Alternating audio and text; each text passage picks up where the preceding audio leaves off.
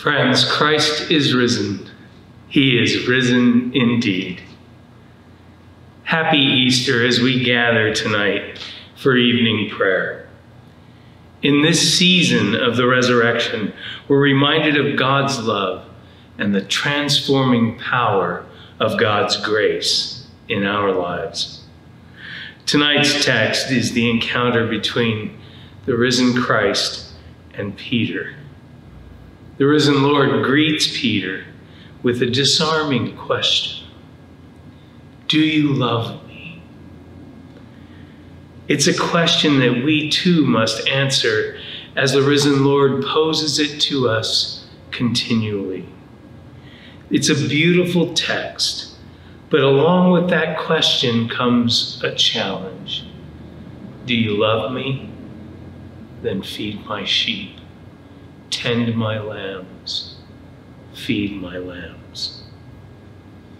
The risen Lord extends grace unimaginable and a challenge for us to live out our call.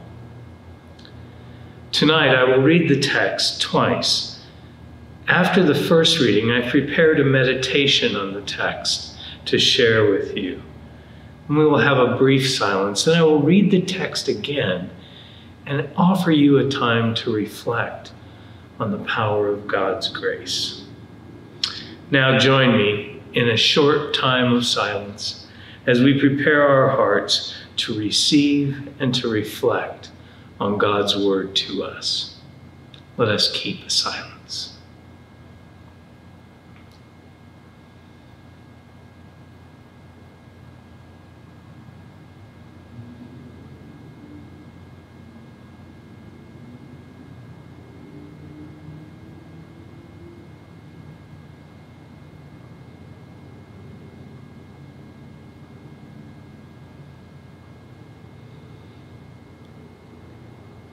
Lord of resurrection surprises, open our hearts this day to the presence of the risen Christ.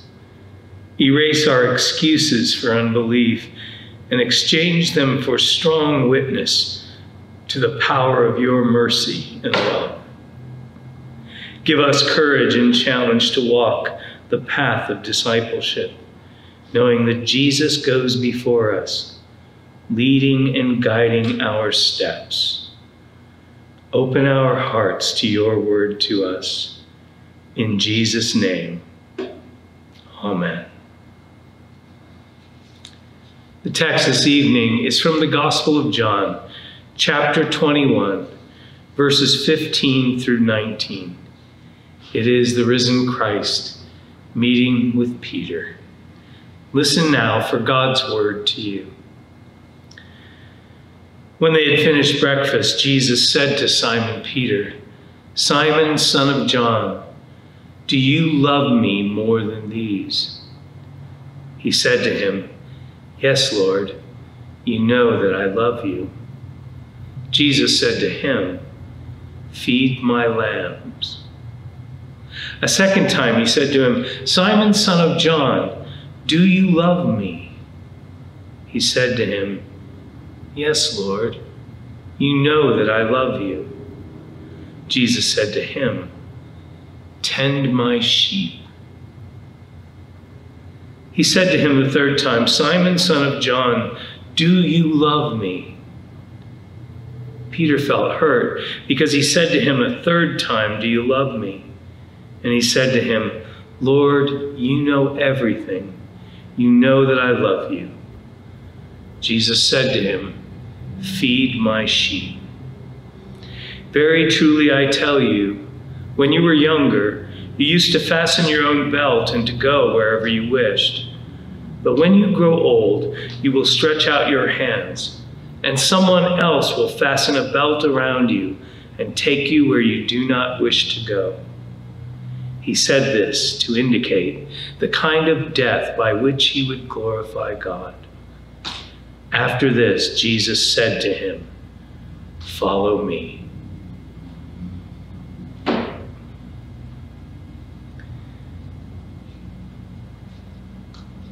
Peter loved Jesus. He was a devoted disciple. He had everything. his family, his vocation, his possessions. He left it all to follow Jesus. Peter declared his life and dedicated it to this rabbi, this teacher, his Lord. No one would question his loyalty. His love was deeply embedded in the commitment he lived out. Fast forward to that terrible night when Jesus shared his final meal with his disciples. There was talk of betrayal. Peter would have no part of it. He proclaims loudly, Lord, I will never turn my back on you.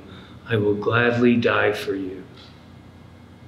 But Jesus, in love, looked on him and predicated, No, Peter.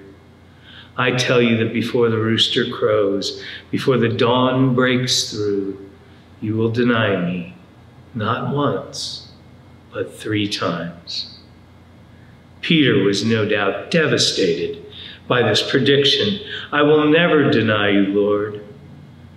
But we all know how that story ends.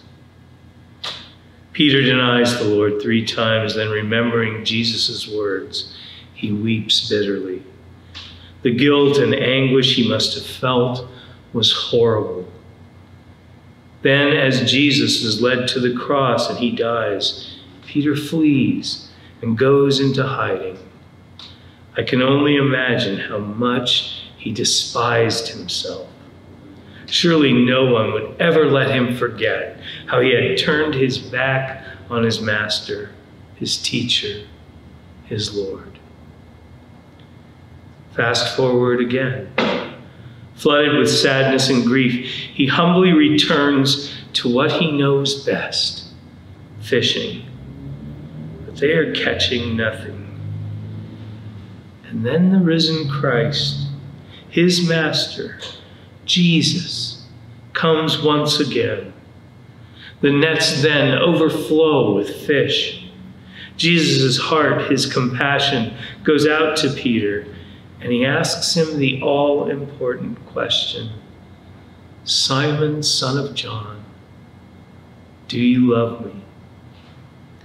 In that little phrase, Jesus was letting Peter know that nothing had changed. He was still the rock on which Jesus would build his church. He was still the one to lead the disciples in sharing the gospel. His denial of Jesus was forgiven. Now, Peter, in his own way, had to forgive himself. Do you love me? Do you trust me? Then do what you committed to do, and I will be with you. Once again, like in those first moments back on the shore, Jesus bid Peter Follow me. Peter's confession of love is followed by a challenge Feed my sheep, tend my lambs, feed my lambs. When we profess our love for God, we face the challenge of living out our call to serve Jesus. Do you love me? Jesus bids. Yes, Lord, I love you then live out your call. Be the person you know in your heart you are called to be. But what if I fail? Jesus assures us, I will still love you. Live out your call. But what if I deny you by my words and my actions? I will still love you. Live out your call. But but but it's more than enough that the risen Christ has revealed God's love for us. We're forgiven, redeemed, and blessed. We will fail, and at times our very actions will deny Him. We'll turn our backs at times on the gifts that we've been given, and yet God is relentless and continues to call us, and our Savior bids us to follow. The response is up to us. Much like us, Peter's life was unpolished, broken, and torn. And yet Jesus loved him, called him, and empowered him to use the gifts he had been given to share the good news of God's love in Jesus Christ. In his first sermon at Pentecost, this dejected disciple, affirmed by love, preaches the sermon to beat all sermons. And over 3,000 people are baptized. Friends, the risen Christ calls us, unpolished, torn, and broken, to come as we are and live out our call. This is the good news. The risen Christ is with us.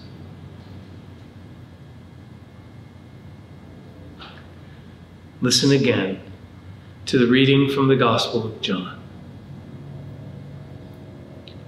When they had finished breakfast, Jesus said to Simon Peter, Simon, son of John, do you love me more than these? He said to him, Yes, Lord, you know that I love you. Jesus said to him, Feed my lambs. A second time he said to him, Simon, son of John, do you love me? He said to him, Yes, Lord, you know that I love you.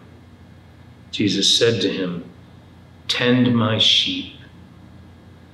He said to him a third time, Simon, son of John, do you love me? Peter felt hurt because he said to him a third time, Do you love me? And he said to him, Lord, you know everything. You know that I love you. Jesus said to him, Feed my sheep. Very truly, I tell you, when you were younger, you used to fasten your own belt and go wherever you wished. But when you grow old, you will stretch out your hands, and someone else will fasten a belt around you and take you where you do not wish to go. He said this to indicate the kind of death by which Peter would glorify God. After this, he said to him, Follow me. Jesus was extending the fullness of God's grace to Peter, and he extends the same to us. Where in your life do you need the assurance of God's grace and forgiveness? Where in your life do you need that assurance? Let us spend a few moments in quiet reflection.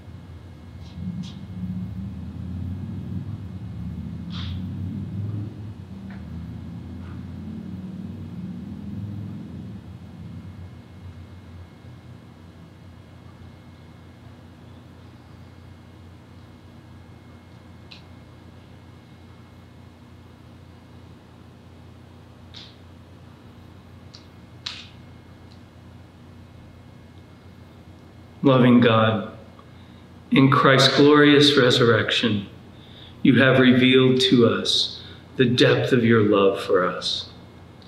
You have extended to us grace upon grace. And now, O oh God, help us to look within and to allow that grace to permeate the broken spaces in our hearts, so that living and loving as your faithful disciple, we may shine the light of Christ's glorious resurrection in our lives and in the lives of those we encounter. Give us, O God, the courage and strength to serve you as Christ has served us. We ask these things in Jesus' name. Amen.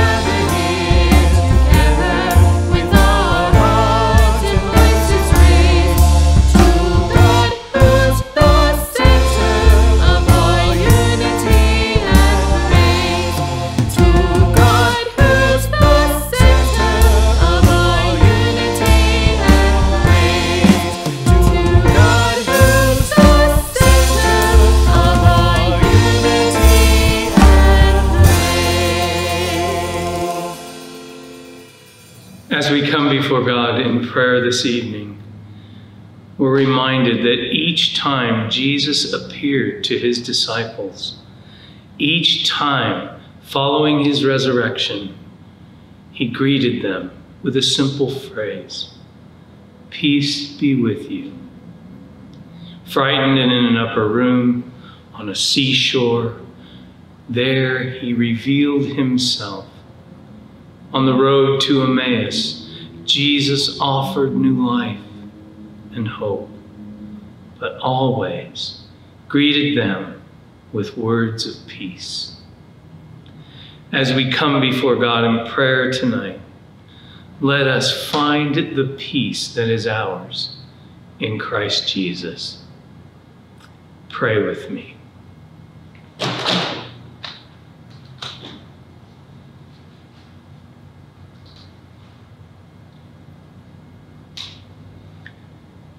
Mysterious God, in the evening when the disciples meet frightened behind locked doors, you came to them with words of peace. For wicked plots had failed, and the cruelty of the world came to nothing, and the betrayal and the denial of friends have not prevailed. Life giving God, we give you thanks, for Jesus has risen and he comes to us with words of peace. Come to us today, O God, in government rooms where politicians meet, in city boardrooms where executives plan, in courtrooms where lawyers debate. Come to us, O God, with words of peace.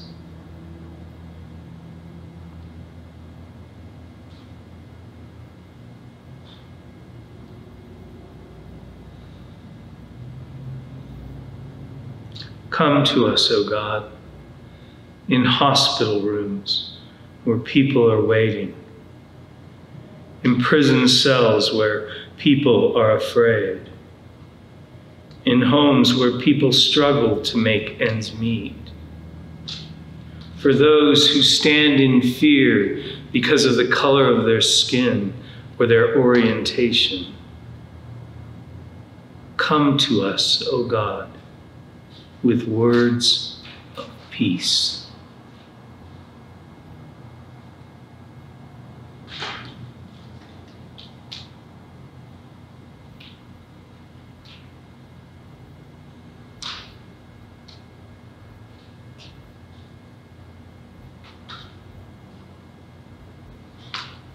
Come to us, O God, whenever we are afraid, whenever we are grieving, Come to us now as we pray in silence for those we care for and are worried about.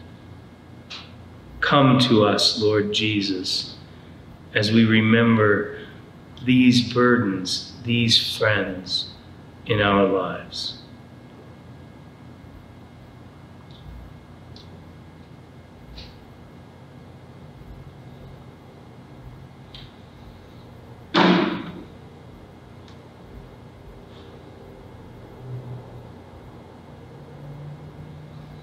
Despite the strong and solid doors we lock to protect ourselves, to shut out the world.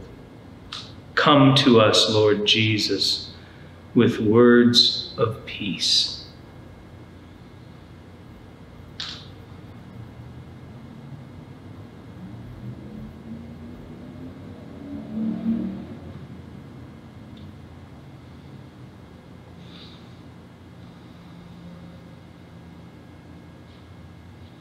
In this season of Easter, O God.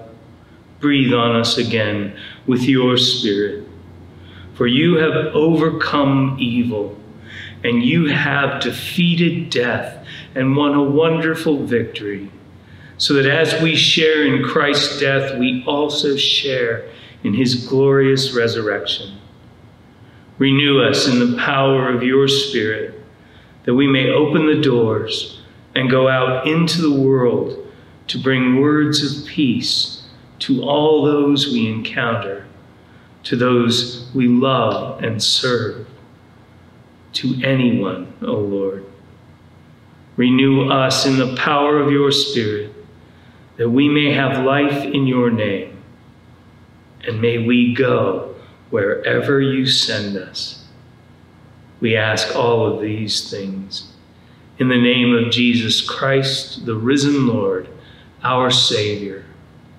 And hear us now with one voice as we pray the prayer Jesus taught us all to pray.